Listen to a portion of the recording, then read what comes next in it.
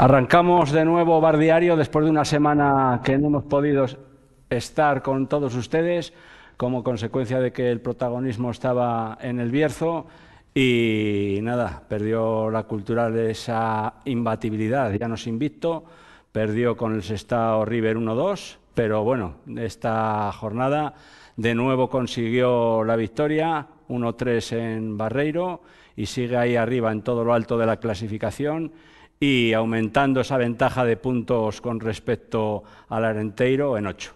Ya están con todos nosotros para comentar un día más la jornada deportiva de los equipos leoneses, Yoli Chamorro, Raúl Castro, José Antonio Pérez y Óscar Díez. Hola Pues bueno, Óscar, la cultural perdió, estaba imbatida, invicta y ahora mismo pues tiene una derrota, pero tampoco supone gran cosa porque esa ventaja con respecto al Arenteiro, pues con respecto a la jornada pasada, aumenta dos puntos más, se va a ocho, y con respecto a la sexta plaza ya son once puntos, y ya podemos hablar de una cultural que más que nunca aspira a todo, ¿no? incluso a ese primer puesto a final de temporada, aunque queda mucho. Bueno, lo normal es que no ganes todos los partidos, ¿no? Yo creo que contra el Sestao, si el equipo hubiera tenido las acertado las ocasiones que tuvo pues el partido se hubiera sido de otra manera, pero al final cuando no estás acertado y entras un poco en la dinámica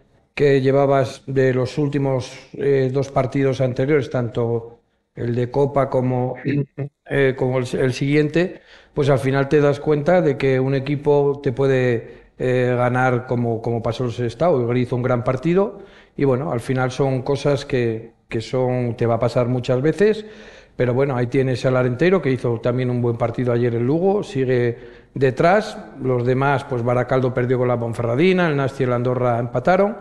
Eh, lo que tuvo que hacer la Cultural en Barreiro fue ganar, lo hizo. Mm, es verdad que, el Celta es un equipo que tiene mucha calidad, pero al final pues está muy tierno, es un equipo muy joven, porque después de empatar el partido, incluso para eh, poderlo remontar con una parada de bañudo en el momento clave, pues luego tiró el partido en dos errores pues de un equipo eh, jovencín, un equipo sin madurez y bueno, la cultura sacó los tres puntos.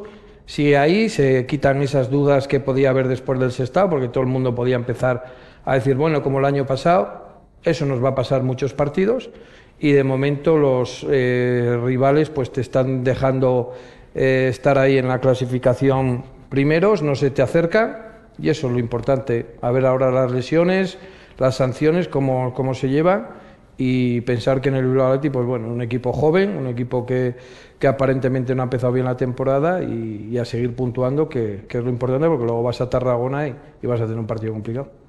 Pérez, se quejaba la cultural y el entrenador en que jugar en Barreiro y con un aviso de tan pocos días que podía afectar al equipo. Sin embargo, eh, empezó muy bien, eh, atacó la puerta rival, enseguida llegó el gol de Luis Chacón y posteriormente, pese al empate, de nuevo ahí estuvo Antón Escobar, que salió por Manu Justo lesionado en el descanso, y la Cultural sumó un 1-3 en un difícil campo, además de reducidas dimensiones, porque Barreiro sí que es más pequeñito que Balaídos. Bueno, eso demuestra la fortaleza y que tiene el equipo, ¿no? que sabe sobreexponerse a, con las circunstancias que se dieron a final de semana, que cambiaron un poco eh, la preparación del encuentro y que obviamente pues que no, no gustó, pues, como es normal, ¿no? Pero como pudimos ver, el equipo se adaptó perfectamente, aunque el campo tenía una buena pinta, pero a medida que se iba sucediendo los minutos iba, se iba poniendo más embarrado, pues normal.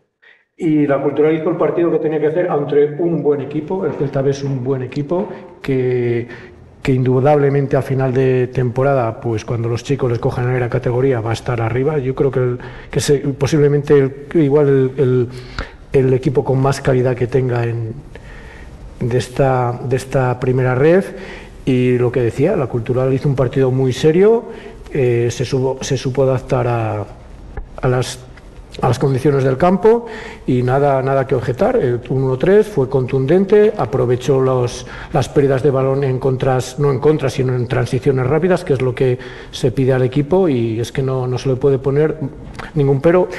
Eh, hablábamos el otro día de, que bueno que lo importante era que el equipo no entrara en una dinámica de, una dinámica negativa y ha roto que es muy importante romper ese eh, después de perder un partido que bueno la situación se hace un poco rara pero ha vuelto otra vez a la senda de, la victoria y el domingo tenemos aquí es el domingo es el sábado el sábado el sábado, luego a las cinco y media de la tarde partido pues con un equipo que van a correr todo lo que pueden correr y más porque son chavales y que nos lo va a poner muy complicado y no nos dejemos engañar por la clasificación que tiene el Bilbao.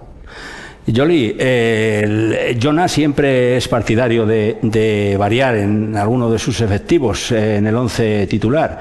En esta ocasión, Creyó conveniente alinear a Rodri Suárez junto a Satrústegui. Fornos eh, quedó en el banquillo, salió al final para reforzar un poco la línea defensiva. Y como siempre, pienso que Jona lo que quiere es tener al mayor número de efectivos pues unidos por la causa. Sí, bueno, no sé si, si, lo hubiera hecho de la misma manera, pero bueno, yo creo que Jonas se adapta también muchas veces al, rival y en un campo en el que, como decía Pérez, a lo largo de los minutos se puso, se puso pesado, yo creo que Rodi y, y son dos, dos, centrales duros, contundentes, que, en un campo así te, te da mucho, ¿no? que igual eh, pues no iba a prevalecer la salida de balón, sino ser un poco más intensos por, por cómo se podía poner el campo. Pero también es importante eso, ¿no? que tener a todos los jugadores eh, enchufados y es que la realidad es que el, ritmo de partido solo te lo da jugar, ¿no? Y yo creo que, que Jonah en ese sentido está gestionando bien, bien los minutos, el que, el que los jugadores pues, pues vayan entrando, a veces de titular, a veces de, suplentes, pero, pero bueno, si es verdad que hay alguno que igual está un poco más olvidado que, que está teniendo menos minutos, pero bueno, yo creo que eso es inevitable también. Raúl, la salida al campo del equipo leonés, eh, Jona no quería ninguna especulación en este partido, sabiendo que el campo pues era más reducido, que no había que dejar manejar el balón al rival. Salió por la victoria desde el principio y dos balones hacia adentro, hacia Artola, estuvieron a punto antes del gol, que fue ya en el minuto 5. Eso quedaba bien claro en que Jona quería eh, resolver o adelantarse cuanto antes. Lo que está claro es que Jona eh, puso sobre el campo lo que venía demandando la gente, ¿no? que Artola jugara de media punta, eh, abrir la banda Calderón, Sergio Maestre en el medio centro y quizás el cambio de, de Fornos por Rodri. ¿no?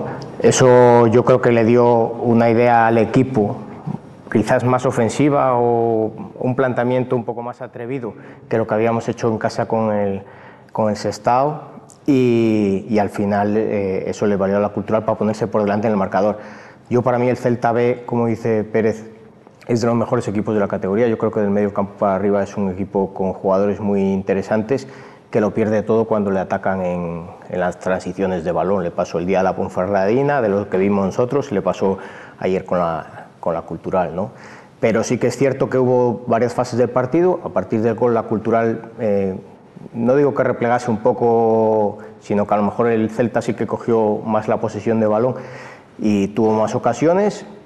Y a partir del gol del Celta sí que la cultural se rehizo de nuevo y, salió, puso un planteamiento un poco para ganar el partido y quedarse con los tres puntos. ¿no? Yo creo que la cultural hizo un buen partido ante un gran rival además.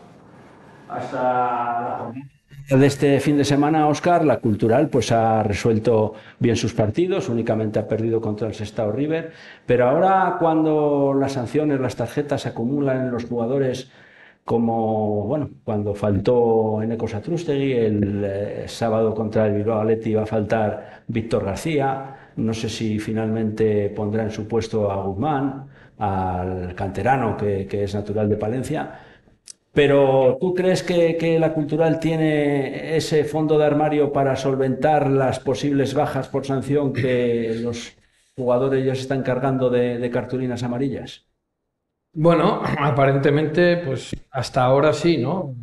Sabes, yo creo que es el primer partido, el, el segundo jugador que va a cumplir tarjetas como Satrustegui al final lo tiene, si no quiere poner a Guzmán, puede poner a Calderón y si está pibe, pues ya. tiene Maestre cuatro también. Bueno, Maestre y, Álvaro y, tres. Me parece también Bañú debe tener tres o cuatro, ¿no? Entonces, al final esas son cosas que son normales y bueno, pues que entren otros jugadores, en el caso de Rodri, yo creo que en Amorebieta era un, campo primordial o, de los que más se puede desenvolver mucho mejor, como el caso del otro día. Es verdad que Fornos ha bajado un poco el nivel, pues al final tiene que, poner, ¿no? Está claro que, eh, como bien dijo Raúl, al final que Artola juegue por dentro cambia mucho al equipo, tanto eh, Calderón como Pibe son más, eh, juegan más al espacio, son, tienen más dribbling, tienen más uno contra uno entonces, bueno, Artola estaba jugando en la banda derecha porque yo creo que ahora no tenía más. Y a partir de ahí, pues bueno, pues a ver ahora yo creo que Escobar, y si lo he dicho, para mí es fundamental, es un jugador que jugando de espaldas a la portería te, te, da muchísimo. De hecho, las transiciones, como bien dijo Raúl, el Celta, un equipo normal, bien eh, con experiencia, no te meten los dos goles que te mete la cultural al final haces falta o, hay otras situaciones, ¿no? Fueron muy tiernos en, la jugada y ahí Escobar pues se vio su experiencia y, ahí levantaron el partido, ¿no? Yo sigo diciendo que la Cultural tiene fondo de armario, pero mm, es verdad que para mí los titulares son muy titulares y los otros, pues bueno, pues aparentemente los tienen enchufados a todos, pero bajan el rendimiento y a partir de ahí, pues a ver lo que pasa con, los medios centros, porque está claro que Maestra es fundamental. A no ahora mismo no tiene sitio en el medio centro cuando juegas de media punta, pues a partir de ahí, pues tiene dónde elegir y bueno, yo creo que la alineación, como bien pensamos, era la que más correcta podía haber en, en Barreiro, que todo el mundo decía que el campo, el campo Barreiro es más pequeño y tal, pero de césped normalmente está fenomenal y todo el mundo la polémica creó. La federación con los equipos de primera división no se mete nunca. A partir de ahí, quien quiera evitar esa problema, a mí me pasó en Almería, nos pasó un día, llegó, el campo había que resembrarlo, llegaron, llamaron y al día siguiente jugamos con el Sevilla y, y allí no puedes protestar. Los campos de primera división, para que se le olvide todo el mundo, ya que van contra la cultural, que te lo avisan tres días, vale, es la única cosa, pero la federación no a los equipos de primera nos pone ninguna pega. Pérez, eh, desde luego que tú si quieres ganar, competir, tienes que ir a cualquier campo y sacar los partidos adelante. Y a raíz de, lo, de la pregunta a Óscar de si en este momento con las tarjetas pues puede bajar el equipo, eh, hay un futbolista que empezó jugando prácticamente todo y parece que se ha caído de, de tanto del 11 como de salir a jugar minutos. Es el caso de Chusalva. ¿Crees que hay jugadores ahora mismo por delante en cuanto a rendimiento a Chusalva? Bueno, comentabas antes de, que, a ver si el fondo de armario era cultural, pero bueno, es que eso les va a pasar a todos los equipos, no solo al cultural. Todos se van a llenar de tarjetas, entonces yo creo que ahí igual eh, va a haber igualdad en ese sentido. Otra cosa es el fondo de armario que, puedas tener. Eh, Chusalva, pues Chusalva, eh, yo creo que, ahí Jona mm, tiene, igual que, igual con los demás jugadores, tiene que sacar, intentar sacar el máximo rendimiento a este tipo de jugadores, porque al final eh, lo poco, lo mucho que te puedan dar les vas a necesitar. Y, si Jona consigue a estos jugadores eh, meterles en dinámica de, partidos y que, y que sean una alternativa que les dé, les dé, pues que, le, que sume al equipo, pues creo que la última vez que jugó Chusalva metió gol. Hasta ese, hasta ese momento Sí, hasta, en ese momento eh, está inédito. Hay que apretar, al jugador le tienes que apretar. Eh, y a Chusalva, a Bicho, y una vez que le apretas te tiene que responder. Y si juega menos, pero lo menos que juega te lo da de calidad, al final aportan un jugador necesita que estés encima de él, aunque no juegue, y el jugador tiene que ser profesional, evidentemente, y demostrar que puede jugar en la cultural. Si esos jugadores que ahora están jugando menos consiguen eh, darles un salto de calidad al equipo cuando el equipo se llena de tarjetas, eh, si el equipo consigue eso, eh, mm, vamos a hablar de cosas más serias en el equipo. Ya.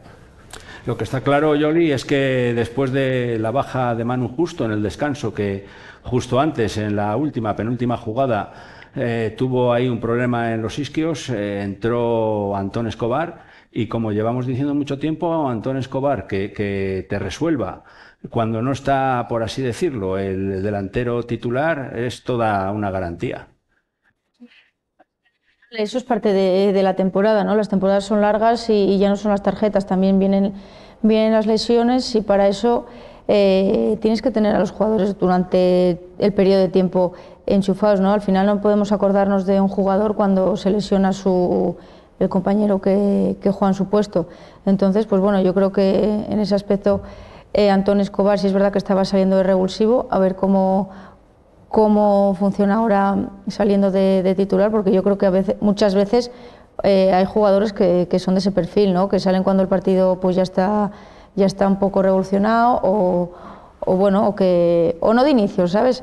Entonces, eh, yo creo que, puede hacer un, buen papel, adaptarse y esperemos que la lesión de mano justo pues, sea lo menos posible porque yo creo que, también, o sea, da mucho al equipo, no solo goles, que eh, te aporta muchísimo en, fase ofensiva. Lo que la cultura ha demostrado, Raúl, en estas jornadas que llevamos de, campeonato de liga es que ya se le puede considerar como el equipo dentro del grupo a batir y que si sigue este ritmo de puntos, 30 puntos, en 13 jornadas de liga, yo creo que tiene que ir por esa primera plaza, porque es la forma, eh, no te voy a decir más fácil, porque es complicado quedar ahí en ese primer puesto, pero sí quedaría un ascenso seguro y tú no tendrías ya que medirte con nadie y la cultural yo creo que está, por lo que ha demostrado ahora mismo, eh, es capaz de quedar ahí en esa primera plaza. Sí, pero todos tenemos que tener claro que la media que lleva la cultural mantenerla a lo largo de la temporada es muy, es muy difícil. Claro, si decimos, oye, repetimos estos ciclos cada X partidos, cada X partidos, vamos a subir, por supuesto que, un equipo con, esos, con esa puntuación va a subir, pero está claro que hay que poner también en valor lo que está haciendo la cultural hasta ahora, que, eh, le está poniendo con mucha diferencia, pero puede, puede haber épocas de, del calendario que, que, la sufran un poco más. Y lo que hay que ir es tener las ideas claras, seguir haciendo las cosas como están. Mira, y una de las decisiones que más me gustó de Jona este fin de semana fue mantener a Sergio Maestre en el campo con la tarjeta amarilla. Otros partidos es al, jugador al que has quitado en el campo, porque es un jugador que yo creo que hace, las faltas las hace muy claras. Entonces, cuando hace la falta muy clara, que no te saquen la tarjeta amarilla, tendría no sé si puede disimularlo un poco, pero es que son, muy, son muy claras. Entonces, claro, ya te pones en los 20, 30 minutos con una tarjeta amarilla y Jona, muchos partidos a, a, le ha quitado en el descanso o, o, ha sido el primer cambio manteniendo a Barry. Sin embargo, este fin de semana mantuvo a, a Maestre en el campo y yo creo que es un poco psicológico del jugador y del entrenador, de las dos cosas, el decir, bueno, tú tienes una tarjeta amarilla, pero eres importante en el campo y sobre todo en el campo de Barreiro probablemente, a lo mejor si hubiese sido, yo no digo que no, pero si hubiese sido a lo mejor eh, en, en, un campo más grande, a lo mejor hubiera mantenido a Barry, no lo sé. Pero bueno, te quiero decir que a mí me pareció una decisión bastante buena de Jona para el desenlace del partido. Y es evidente que con estos puntos, pues claro, eh, sería, son números de, ascenso directo, pero hay que tener un poco claro que, que lo que está haciendo la cultura hasta ahora tiene un mérito innegable, ¿no? Pues de momento la cultural no puede estar más acertada, Óscar, ahí en cabeza de la clasificación, eh, aumentando su ventaja con respecto al resto de rivales y ya con la deportiva, con la Sociedad Deportiva Ponferradina, pues el, los tres puntos que sacó en un campo complicado, que siempre es como muy difícil la Cesarre, se impuso al Baracaldo por 0-1 y se pone a un solo punto de playoff, ahí en mitad de la tabla, pero está la clasificación muy comprimida y otra vez tuvo que ser Alex Costa. Es el eh, máximo exponente que tiene ahora mismo la deportiva en esas labores de ataque y que siga así. Bueno, está claro que ganar en ese campo no es fácil, ¿no? El Baracaldo hacía, me parece que hacía 15 años que no se enfrentaban esos dos equipos, entonces hay que pensar de que es un equipo que estaba bien clasificado, que la Ponferradina ha cambiado un poco la manera, la entrada de Alex Mula y de Bustos pues le da un poco, pues ya ves, ahora mismo Borja Valle ya lleva partidos que no juega, Ernesto tampoco, Bryce Belinda ha desaparecido. Bueno, está metiendo un tribote casi ahí Markel en el medio. Bueno, fuera de casa aprovecharon casi la jugada menos clara, porque fue un centro, ya les Costa remató casi, se la encontró. Bueno, luego tuvieron alguna oportunidad más, el Baracaldo también, Andrés hizo una gran parada en el momento también clave, que al final eso te aporta muchísimo, que en los momentos que te tiran una o dos veces y, que tu portero, tanto Bañuz como, eh, Andrés, eh, están en los momentos claves. Y bueno, eh, al final por sufrir, el Baracaldo tuvo sus oportunidades y, dentro de, ahí, pues bueno, pues está haciendo... Pasa que hay jugadores que veo yo que ahí Andújar no está convocado, Borja Valle no juega, no sé, ahí hay cosas que se nos escapan y bueno, jugadores importantes que al final la Ponferradina, pues bueno, estar cerca de, del playo, de la tranquilidad a Javi Rey, tiene que hacerse fuerte con una Morevieta que ahora ha cambiado desde la llegada de ahora de Nacho González, un entrenador con experiencia, pues ha cambiado la Morevieta, entonces eh, a ver si son capaces de sacar los tres puntos y, acercarse a esos puestos de, del playoff, que al final la Ponferradina a lo mejor el primer puesto está lejos, pero está lejos para todos, pero bueno, el playoff yo creo que, es, su mayor... Eh, lo que tiene que, hacer, porque para eso te lo exige el, el presupuesto, el equipo y la afición que tienes. ¿Cómo cambia el cuento de una jornada a otra de Pérez? Porque la Ponferradina, ya decíamos que en el Toralín la gente ya estaba incómoda, no aceptaba el juego que está desarrollando Javi Rey. Y en esta jornada, Alex Costa, el mayor exponente goleador de la Ponferradina, yo creo que aparte de darle tres puntos muy importantes al equipo, también ha salvado esa cabeza que estaba ya en la picota de, Javi Rey. Las dos cosas, los pájaros del tiro. Cuando vienen los resultados siempre, siempre lo mismo, ¿no? Eh, bueno, pero fue un partido muy abierto, ¿eh? O sea que la Ponferrada muchas veces está jugando a... Ida y vuelta, sí. Que puede, puede decantarse de un lado como puede decantarse para otro. Y bueno, lo decíamos antes de la cultural, si Jonah tiene que sacar el mejor rendimiento a jugadores que no están jugando habitualmente para que te aporten y estar, y estar arriba del todo, la Ponferrada tiene lo mismo Javier Rey tiene, el mismo problema, digamos, entre comillas, con, con por ejemplo, con, con Bresa con Borja Valle, que son jugadores que tienen que aportar y que en este momento no lo están haciendo y son fundamentales para que el equipo eh, se meta arriba de una vez porque porque si no pues van a tener problemas y, y, también debería cerrar la Ponferrada un poco más los partidos, no dejar de estar abiertos, sobre todo en casa. En casa tiene que ser mucho más contundente atrás porque si no es contundente atrás y sigue con esta misma línea de, de, encerrarse, de que ser dominado, ser sometido por cualquier equipo que llegue, pues lo va a tener muy, muy complicado. Yo creo que es un poco así las asignaturas pendientes que hay en Ponferrada, que es eh, sacar el rendimiento que tienen que dar esos jugadores y luego ser mucho más, mucho más contundente y mucho más fiable equipo defensivamente. Porque arriba, si arriba tienes calidad, vas a llegar de una manera a balones para, jugadas a balón parado, tienes arriba Costa, que es un jugador que está creciendo y que es muy cómodo para las defensas, entonces pues... Fíjate, un jugador del filial, claro, fíjate, claro. Lo que ha crecido. Exactamente. Y Yoli, eh, de todas las maneras tú eres partidaria de, que las dinámicas tienen mucho que ver también en esto del fútbol, porque un equipo con la plantilla que tiene la deportiva, que todos sus jugadores, pues estamos hablando de, de Bryce, de, de, Borja Valle, de, gente que, que, en esta categoría pues tendría no que salirse, pero sí que marcar una diferencia. Y sin embargo, la deportiva, con esa buena plantilla que tiene, que hablábamos desde el principio de temporada, pues eh, no acaban de, salirse las cosas en, este, en estas 13 eh, jornadas que llevamos de campeonato. Hombre, está claro que el fútbol son estados de ánimo, ¿no? Pero yo creo que yo creo que la Ponferrada no es cuestión de un estado de ánimo que te entre o que no te entre. Yo creo que las sensaciones mm, no están siendo buenas y, y, opinar de esos jugadores cuando no estás en el día a día, lo decía Oscar, no sé si pasará algo o no, pero es muy complicado eh, opinar de ello cuando pues eso, no estás en entrenos, no estás eh, dentro del vestuario.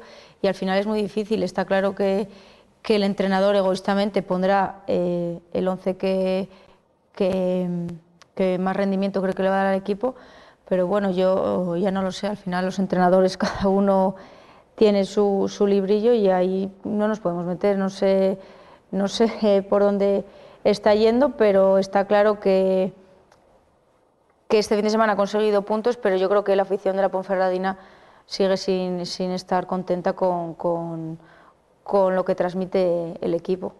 Desde luego, Raúl, hay situaciones dentro de la deportiva con futbolistas que tienen, como comenta Yoli, esa calidad y, y claro, el fútbol también son esos estados de ánimo. Pero hay situaciones con Andújar, con Borja Valle, con Braisa Belenda, que o Javi Rey no sabe llevar o lo que dice también Oscar, que no sabemos cómo ese vestuario está internamente. Hay una cosa que está clara, es que Javi Rey con sus ideas ya no va a morir. Te quiero decir, o sea, ya se ha cambiado, eh, eh, se ha dado cuenta de que, se ha dado cuenta, se le han hecho ver, o llámale como quieras, que atrás era un equipo muy endeble, eh, ha decidido meter tres medios centros defensivos, básicamente, con Markel Lozano o tal, que recuerda lo que hizo el equipo la temporada pasada, lo mismito. Pasó de, al principio, cuando iban las cosas mal, a volver a meter tres medios centros. A partir de ahí, mejoró defensivamente, claro, ofensivamente son equipos, son jugadores de calidad que una que tienen o dos que tienen pueden anotar. Eso fuera de casa tiene su valor, pero no sé si en casa le va a valer para mantener ese sistema tan replegado atrás eh, frente a otros equipos cuando se entiende que tú tienes que ser un poco más ofensivo. Juegas en tu casa, eres un equipo superior, veremos a ver. Yo no soy partidario de esos tres mediocentros, yo para mí Esquerdo es un jugador que sobra ahí. Ahora mismo me parece que con Markel y Dowe sería sería suficiente. Pero claro, él, cuando tú ves un poco, como dice Pérez, tu puesto eh, ahí, que es el, primero que te que, apuntan las miradas, pues claro, tienes que tomar decisiones. Y las de los jugadores que no juegan, pues evidentemente son casos... Andújar sobre todo es muy raro. Son casos significativos. Recordemos que hemos hablado aquí muchísimas veces que la Ponferrina se quedó con jugadores del año pasado que no aportaron nada y que empezaron jugando y tampoco aportaban nada. Entonces, bueno, igual por ahí Javi Rey también se ha dado cuenta de que, de que hubo un error de configuración de plantilla y a lo mejor otra cosa es que luego ellos asuman esa situación o no la asuman y eso lo veremos con el tiempo. Pero no es cuestión de meter tres medios centros, sino es cuestión de ver a qué altura estás defendiendo. Y la, y la se mete atrás, rechaza, sigue atrás y al final tiene al portero haciendo las extras porque le están continuamente tirando desde fuera, creando ocasiones de gol. Eh, igual no es tanto cuestión de qué metes por dónde, sino a qué altura quieres jugar. Bueno, es que Marca Lozano, cuando, cuando tiene el balón el equipo contrario, es un, central. Sí, es que no es un medio centro. jugaron con tres centrales. Y dos medios centros defensivos a la altura del borde del área. Tienes muchísima gente atrás. Pero es que estás, estás defendiendo en tu área, y en tu área, cuando el balón entra ahí, de cualquier, o sea, de la manera más tonta, el balón llega donde no tiene que llegar, de, un rechace, de un rebote. Hay que sacar al equipo para arriba porque eh, estás viendo que, insisto, lo mismo, el portero está haciendo las extras. ayer, de todas las maneras, le salió, le salió, pero en partidos puntuales seguramente lo que dice Antonio, que, cualquier rebote, cualquier segunda jugada, ahí el balón queda muerto y te la puedes comer. Por eso... Se le va a costar mucho la segunda vuelta eh, o sea, ganar partidos a equipos que se le encierran atrás. Eso le pasó en el Baracaldo y en la Ponfe no le pasó porque, porque no le pasó, pero equipos que se les encierran atrás, yo veo que se les complica mucho el, generar espacios y, luego les están pillando muchas veces en las transiciones. Y desde luego que ahora, con el paso de las jornadas, pues todos los equipos quieren amarrar atrás y, bueno, la Ponferradina desde luego que en este momento pues eh, su mejor juego no es echarse demasiado para atrás, sabe que tiene un buen portero, como dice Pérez, que, que está haciendo un trabajo extra pero desde luego que, irse hacia atrás y, dejarlo todo en ese nivel defensivo pues puede provocar pues eso segundas jugadas rebotes que, caiga el balón en cualquier sitio del área y verlo dentro está siendo por eso ayer casi jugó con tres centrales metido Marker entre ellos y luego lo que dice Raúl si tú tienes dos medios centros como Dué y Márquez y Esquerdo que no están en lo mejor que el año pasado hizo una gran temporada en el Arenteiro pues al final solo te tiene que llegar cuando te llega el balón en banda. Y te llega el balón en banda y Busto está bien, o Geray, y cuando está eh, Costa, entonces está claro que defensivamente lo que habíamos hablado, que la Ponferradina tiene que ser fuerte, ayer lo fue, supo sufrir y no le crearon tantas ocasiones como es el caso de Andújar. Yo creo que si es por lesión o por decisión técnica es un jugador importante para la categoría, pero sí me, me choca que Borja Valle, si está bien físicamente, que no juegue nada. Llevar del partido de la cultura, el juego me parece el otro día 10 minutos. Entonces, ese jugador, si me parece es un jugador a lo mejor de segunda fila, Ernesto tampoco entra. No sé, son jugadores que son desequilibrantes y que aparentemente a la Ponferradina le tienen que dar ese plus para, para estar arriba. Oscar, de todas maneras, el equipo ayer yo creo que fue más agresivo frente al contrario. Te quiero decir, una presión, que, no creo entradas, entradas más fuertes. Y yo creo que mm, esos jugadores de los que estamos hablando yo no los veo, o sea, los veo en su técnica, en su juego. No, pero, te hablo de ataque. No yo veo... que esos jugadores eh, tienen que dar en ataque. Un equipo que tiene calidad y cuando le llega el balón, exprimirlo. Sí, pero tienen que defender también. y eso claro, defender defienden poco. Pues ojalá que tanto cultural, que está en, todo en toda la parte alta de la clasificación, arriba del todo, líder eh, del grupo primero y que la Ponferradina, pues que con esta victoria aclare su futuro y siga marchando pues con miras a esos puestos de playoff y que al final de temporada pues que los dos tengan esas opciones y puede ser uno directo y el otro jugar playoff y ascender mucho mejor. A ver si se consigue y vemos un derby el próximo año, queda todavía demasiado tiempo en segunda división. Sería lo que querría tanto en el Bierzo como aquí en León, un derby de esa categoría. Y ya en, en la tercera federación, Oscar, el Atlético Astorga pinchó contra el Burgos. El Burgos, un club que lo está haciendo muy bien, eh, a nivel también de cantera. Y sobre todo destacar a la Virgen, que después de esa victoria frente a la Arandina, que es uno de los gallitos del grupo octavo, pues se mete ahí en la pelea por el playoff y bueno, el Atlético Benvibre, pese al cambio de entrenador, con Manolo Pérez en el banquillo, no fue capaz de sacar algo en Laguna, perdió al final y el Júpiter Leones, que frente al Tordesillas, pues fue un partido más o menos de toma y daca, de ida y venida, y que al final acertó Torres, el visitante, para el Tordesillas, y el Júpiter pues baja esa mitad de tabla. Bueno, está claro que a la Astorga, pues, lo mismo que la Cultural, algún partido eh, les puede, te pueden ganar, aparte el Burgos B, pues es un equipo que se ha metido ahí arriba, tiene gente joven, eh, llevan una racha bien buena y entonces pues se ha metido ahí, igual que el Tordesillas que le ganó al Júpiter, que bueno, se me queda ya en el medio de la tabla y bueno, pues lo que, lo que hablamos, ¿no?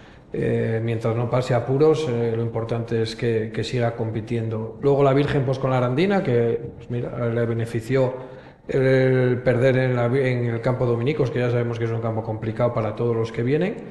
Y bueno, y el Benvibre, pues a ver si Manolín, porque tengo buena amistad con él y, y tiene suerte, pero cuando ya no ganas en casa a, a, a la Laguna, el minuto 83 te marcan, pues bueno, va, va, a tener que luchar toda la temporada y bueno, pues, pues, pues a ver lo que pasa. Creo que el tropiezo de la Astorga es de los campos que, que le, puede, le puede pasar, sigue con, con, con, su ruta y que luego pues tienes equipos como hay como el Mojados, que está ahí arriba, Tordesillas, se ha desinflado un poco el Palencia. Bueno, yo creo que va a estar muy competida durante todo el año, pero yo creo que Astorga Arandina y Tordesillas, esos son claros candidatos a, a estar en el playoff. Y ahí en la regional aficionados, el Sariegos. La noticia agradable jornada a jornada, el equipo que subió, esa dinámica seguramente que ganadora de la pasada temporada se nota muchísimo y es el primer equipo leones clasificado y el Onzonilla que ganó una cancha muy complicada como es el Villa de Simancas. Sariegos tiene la misma pinta que, es verdad que, que el Mansíes, que fue líder de, durante toda, casi toda la temporada, pero con mucha ilusión, ¿no? Al final ganar en casa, se están haciendo fuerte en casa, que para estos equipos es, es fundamental. Y bueno, pues que sigan con la misma ilusión y, y, intentar no pasar apuros porque queda mucha temporada. El Onzonilla ganó fuera de casa y era el primer equipo, ahora le ha pasado el Sariegos. Y bueno, y el que no arrancar la bañeza, ¿no? Porque con el 1-1 empate están los puestos de descenso. Un poco sor sorprendente porque si encima no eres capaz de ganar en la llanera, pues al final eh, fuera de casa también te cuesta ganar, pues al final otro, otro, año más pensando en los objetivos de intentar volver a tercera división y no van a ser capaces. Y la Deportiva B, los sí. filiales y, y, los equipos de cantera, parece que la Deportiva, eh, la cantera, la base de sí, la Ponferradina está, está, pasando, pasando por hasta problemas. en cadetes, en, en infantiles. Todo, es general, es general. Es general lo que le está pasando en el fútbol en el Bierzo. Si aquí estamos mal, eh, viendo los jugadores que hay de transferencias a los primeros equipos, en Ponferrada también están pasando un bache, no sé por qué será. Siempre en el Bierzo, yo los años que era seleccionado, siempre había jugadores espectaculares y siempre traíamos a la selección 5, 6, 7 jugadores de un nivel muy interesante y ahora mismo los equipos, yo no entiendo que la Ponferradina eh, en preferente eh, esté sufriendo para mantener, tenía que estar arriba después de la temporada tercera y el juvenil pues con, con Toñín, que el año pasado hicieron una gran temporada, pues están también sufriendo, ¿no? Y bueno, pues, pues ahí están, ¿no? Y los chavales, la cantera, el puente sufriendo, sufriendo mucho, ya está en posición de descenso y la cultural arriba del todo con ese afán de ascender a división de honor. Pues sí, la cultural le pegó un batacazo y ahora es líder ya en Valladolid, que no es fácil ganar al Valladolid B, se ha puesto eh, primera, el diocesano perdió con el Salamanca y bueno, pues eh, seguir su. Se le está aclarando el futuro. Se le está aclarando porque al final lo tenía ahí muy apretado con, con el Numancia, con el Unionistas y, y con estos del Diocesano. Y ahora ya pues sacan tres puntos, pues a ver si también le va a pasar que, que va a tener partidos complicados. Lo que hablamos de la Ponfradina juvenil que, tiene que, que, espabilar porque, porque no puede estar en esa categoría ronda. Y el puente, pues ahora con el cambio de Javi pues a ver si le puede dar ese empaque. Necesitan una victoria porque han tenido dos derrotas y bueno, pues seguir luchando porque el puente tampoco puede estar en esa categoría. Dos años ya que lleva casi tres, ya hay pasando por esa categoría eh, deambulando y hay que espabilar porque los equipos leoneses necesitan estar en los puestos altos de la clasificación. Además tiene un partido clave la próxima jornada frente al sur allí en Valladolid, que es otro de los equipos de su liga, del Puente Castro. Sí, está claro que para el Puente ahora mismo van a ser todos los partidos claves porque esa ventaja que había tenido con esa victoria en casa, pues ahora te ha vuelto a poner otra vez penúltimo. Al final es que no has hecho nada, tienes que tener una regularidad. Para salir de esta categoría tienes que tener dos victorias para tener un poco de, de, re, de remanso ahí y bueno, pues no lo consiguen y es una pena porque yo hablo con gente del puente y están tristes por eso, porque al final ha bajado la afluencia, eh, los chicos casi no son de, hay pocos de allí de Puente Castro, no sé, yo estuve allí cuatro años, una época muy feliz, una época muy buena, pero ahora mismo pues está perdiendo un poco la ilusión porque las cosas no salen como esperaban. Y, la identidad un poco, ¿no? Al final eran jugadores guerreros, yo todos los que jugué menos dos eran todos de León, muchos jugaron en esa época en tercera división, incluso en segunda B varios, y era una jornada que siempre se nutrían todos los equipos de tercera, la Ollera, el Huracán, la Bañeza, se nutraban de los jugadores que salían del puente que no quería el filial, y eso ahora no pasa, entonces sigo diciendo que en el fútbol base, en lo que es en León, estamos saliendo algo mal. ¿Algún comentario de la cantera, Pérez, que, que no, no rula? Pues como que yo creo que no es un problema a nivel a nivel de León, yo creo que es a nivel ya nacional y no sé qué decir, porque eh, antes salían jugadores de todos los sitios y ahora encontrar jugadores decentes cada vez es mucho más complicado. que se ha visto obligado a sacar a la cantera. Es que bastante buen resultado. Yo sigo diciendo lo, está viendo, sí, sigo diciendo lo mismo, que ser futbolista es muy complicado, complicadísimo. Eh, te exigen mucho, ahora los chicos tienen muchas alternativas que igual no son tan sacrificadas como el fútbol y prefieren elegirlas. Bueno, vamos a dejar el debate ese de, la base, que siempre suele entrar Jolly al trapo con determinadas historias de, de, formación y demás. Bueno, vamos con, con la tercera federación, Jolly que el Olímpico de León sigue eh, pues con, con, esa carrera eh, desde que empezó la temporada con un único resbalón y el resbalón, fíjate contra quién fue, y en esta jornada pues al Sporting se le ganó 4-1 y arriba a, de la clasificación. Sí, bueno, desde el principio sabíamos Dile. que era una temporada importante, ¿no? Ya lo hemos hablado muchas veces, hay reestructuración y también hay que ser pues bueno, pues ser responsable y coger responsabilidades porque estaba claro que si este año queda mucho y esto es muy largo, pero es verdad que, tenemos que, que, estar arriba, lo más arriba posible, porque el objetivo tiene que ser subir de categoría por todo lo que supone el no ascender. De todas maneras, Jolie, eh, de momento la competición juega a vuestro favor. Eh, no tropezáis solamente con el equipo del Deportivo B, que, que tiene, pues eso, una cantera espléndida para para llevarlas al primer equipo. Y en el caso del Olímpico de León es un equipo que mm, jornada a jornada va a más, que además tiene una buena base y que puede ser el año.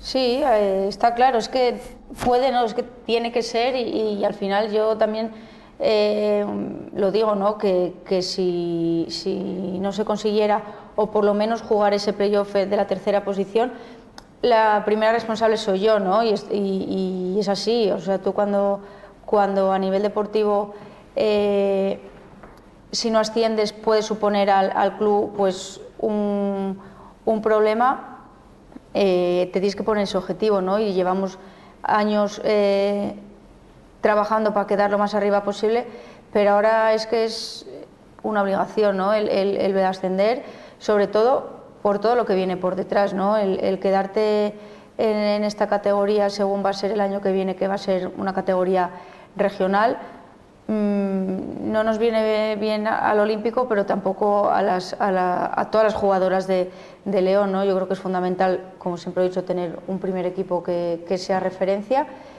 y tener los, los, filiales en las categorías más altas posibles para que las jugadoras que vienen por abajo pues tengan ese incentivo, porque como dice Pérez, eh, no solo los niños, sino las niñas también ahora, eh, si no tienen esa motivación, muchas veces eh, lo más fácil es, dejarlo y buscar otras alternativas, y es lo que, lo que no podemos permitirnos.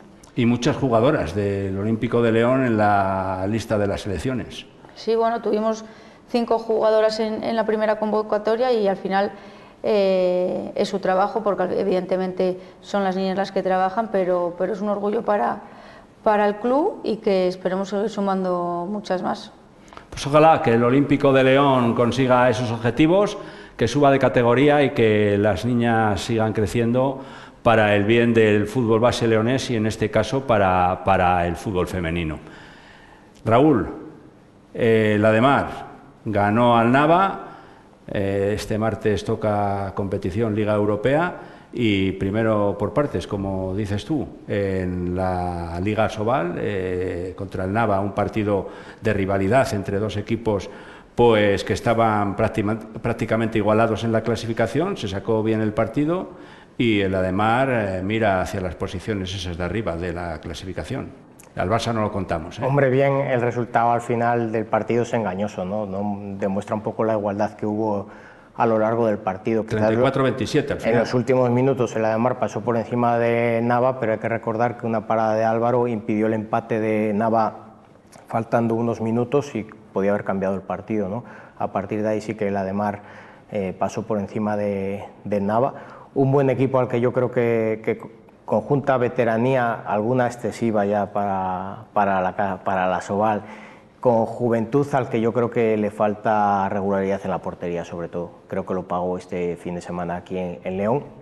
Y el, el Ademar eh, cumple el guion previsto, yo creo que pasa por volver a hacer inexpugnable el Palacio de los Deportes en lo que queda temporada, a excepción del Barcelona, y a partir de ahí a ver cómo somos capaces de competir fuera de casa, sobre todo en la segunda vuelta que tenemos partidos muy complicados con los equipos que luchan por la parte de arriba de la clasificación, que es lo que nos va a marcar dónde vamos a estar entre el segundo y el sexto, ¿no? Pero tenemos que, que, ganar, digamos, todos los partidos de casa. El próximo partido en casa jugamos con el Granollers. Yo creo que tenemos que hacer el Palacio inexpugnable otra vez y olvidarnos de las derrotas de, de Huesca y Torre la Vega, ¿no? Pero creo que estamos en la línea. ¿Hay tanta diferencia del Barça a la de Mar para ese tanteo cuando no compites en ningún momento desde el primer momento con el Barça? Bueno, a ver, el, Barcelona juega dos o tres marchas por encima de cualquier sí, equipo. Eso está claro. Cuando te coinciden más factores como la portería del Barcelona te está por encima del 40% y la tuya no está acertada, eh, te dejas ya ir porque tienes un partido muy importante el fin de semana. Estás también metido en una competición deportiva. Eh, a ver, Creo que queda para las estadísticas que es la, derrota más abultada ante el Barcelona en lo que llevamos en los últimos 30 años desde que volvimos a la Soval. Pero bueno, yo quiero creer que es un dato que queda ahí como... El primer tiempo se compitió. Como, como, estadístico. Date cuenta además que, que, como dice Ángel, lo llevas casi a, a 40 minutos. Es que una ventaja, competiste muy bien durante 20 y en los últimos 40 te meten esa ventaja, que no es traducida a todo el partido. Pero bueno, te permitió rotar jugadores, te permitió llegar con jugadores frescos a este fin de semana, que era el partido importante para ti. Al final es un partido que sabes que vas a perder, que no se manque nadie. Fíjate, por ejemplo, Oscar, el Barcelona te gana de 17 y, y pierde a por lesión.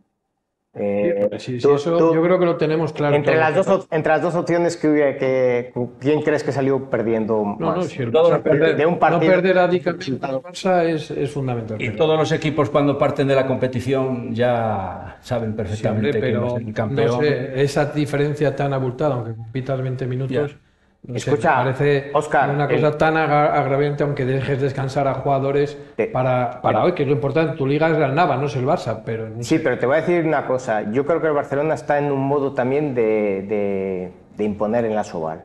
O sea, si te fijas en los resultados, hay equipos de la zona media de la tabla, incluso por abajo, que ha perdido 6-7 goles. Y si te fijas, ha ganado de 17 a la de Mar, de 14 a, a Torrelavega, que es el segundo clasificado, de 14 o 15 también al Nava. O sea, te quiero decir, eh, yo creo que ellos se han marcado también los objetivos de decir, sí, sí, pero que voy a dejarle el cuento este de que cada vez los equipos se, se acercan un poco más al Barcelona, voy a dejar claro que no es así. O sea, Pero bueno, el gen competitivo del Barça siempre lo ha tenido y lo que hemos visto esta temporada lo hemos visto también anteriores, que ellos juegan a otra cosa. Si pueden ganarte de 15, mejor que de 10 y es lo que te vas a encontrar allí. El gen competitivo, eh, eh, igual ahí tenemos, eh, es un ejemplo para los demás equipos, el gen competitivo que tienen, que tienen allí en Barcelona.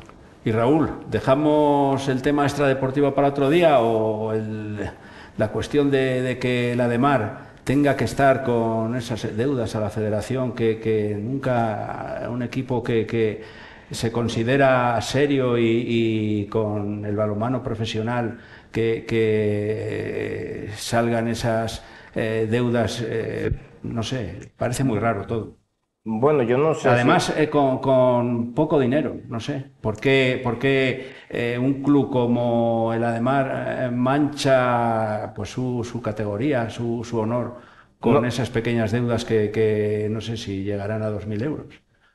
Sí, hombre, lo lógico es que en un club que se pretende sea profesionalizado, con la estructura ya que tiene el ADEMAR, que se paguen las sanciones o los derechos de, de participación o lo que sea en el plazo previsto. Resulta, hombre, sonrojante un poco que cada poco salgamos en las sanciones del comité de competición porque no hemos pagado en el plazo previsto, que sí, que luego tienes 10 días otra vez para pagar y al final terminas pagando, pero que eso la verdad es que no... Tienes que pagar, paga, paga en tiempo y, y hora y, no buena y imagen. y Y- evitas la mala imagen. eso. Esa, y luego ya tiene un momento que nos sancionen por cosas como por no subir los partidos, todas esas cosas, yo creo que ya va en el debe de alguien de la organización de, de la de Mar. eh, que incluso cuando es repetitivo debería de, de tener que de exigirse casi que lo pusiera de su bolsillo al responsable, porque bueno, eso ya es...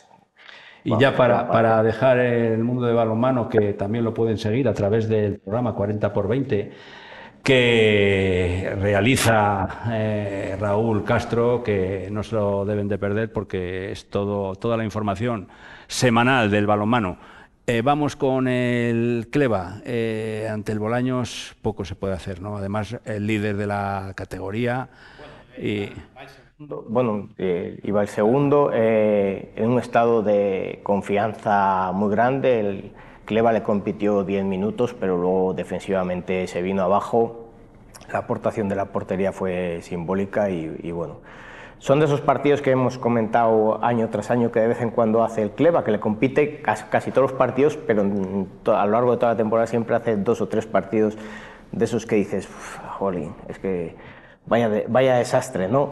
Pero bueno, eh, yo creo que hay que hacer un punto y aparte porque las chicas de Leo no lo están haciendo mal y bueno, Bueno, pues ojalá que haya sido el borrón del Cleva. Y ya para finalizar, pues en baloncesto, pues la cultural baloncesto cayó ante, ante Albacete, entra dentro de la lógica porque había tenido un comienzo de temporada muy bueno, tuvo opciones incluso de victoria, no pudo ser. El Clínica Ponferrada, Sociedad Deportiva Ponferradina también perdió ante el Archena y la noticia alegre fue el triunfo del eh, de baloncesto femenino eh, León, el BF que se impuso en esta jornada y sigue aspirando a todo a lo largo de, de esta competición.